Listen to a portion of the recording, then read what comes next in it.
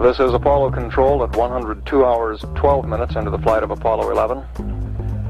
We're now 2 minutes 53 seconds from reacquiring the spacecraft, 21 minutes 23 seconds from the beginning of the powered descent to the lunar surface.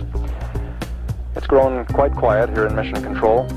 A few moments ago, Flight Director Gene Kranz uh, requested that uh, everyone sit down, uh, get prepared for events that are coming. And he closed with the remark, good luck to all of you.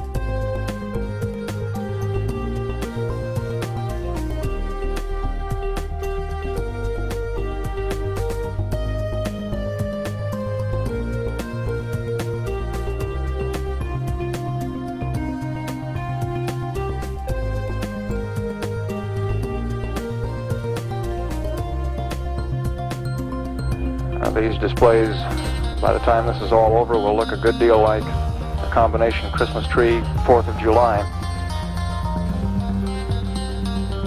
And we're now 1 minute 39 seconds from reacquiring the command module.